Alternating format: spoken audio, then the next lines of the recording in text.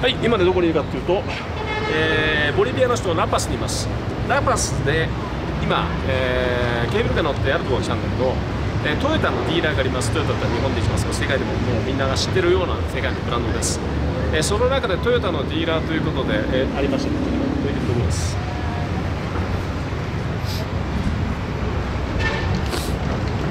あそこにねまあ、世界各地今まで84カ国行きました、まあ、仕事で駐在留学などをして世界各地でトヨタのね、えー、ディーラーとかもしくは子会社、えー、現地現地法人なんかを見てきましたけど、えー、こんな感じであります。トヨタということでなぜかそこの音がトヨさんになってるの受けますけどね。決して偽物ではないですけどね。よくわかんないけど。で SA っていうのはえこれ South America です。トヨタ南アメリカということで、えその会社ね法人ということです。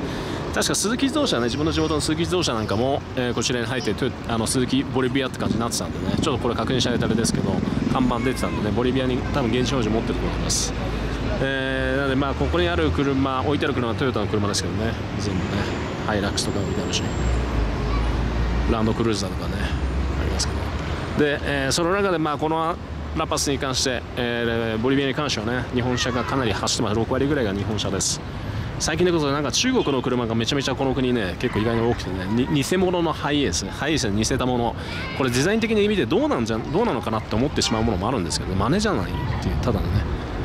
それでハイエースとかつけられちゃう。完璧な詐欺で詐欺的な行為じゃんっていう。国家的な、えー、関してどうなのっていうふうに思ってしまう